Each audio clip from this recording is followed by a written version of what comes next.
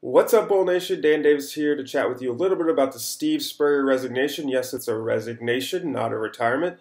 The head ball coach is taking his ball and going home, uh, turning the job over to Shawn Elliott as the interim head coach. Spurrier is 70 years old, and he made it clear that he could wind up coaching a little bit on down the road, but it would only be in high school as he's done with college. It's a recruiting game, as he says.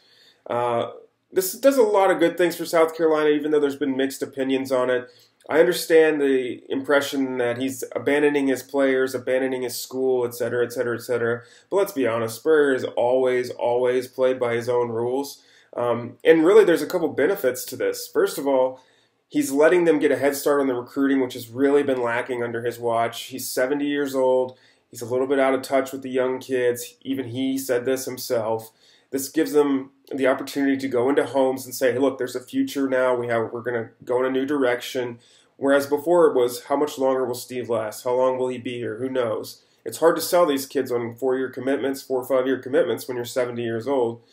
And the second aspect is it gives the administration a head start on finding his replacement. USC East, as they like to be called, is not the most prolific job. It doesn't have the biggest budget and finances to work with, and it's not going to draw top names quite like USC West, who's also going to be looking for a head coach.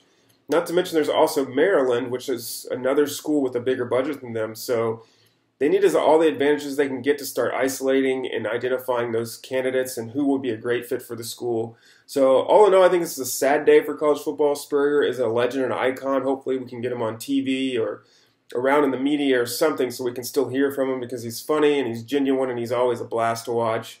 Um, but I think this is a good move for South Carolina. It's going to set them up well for the future.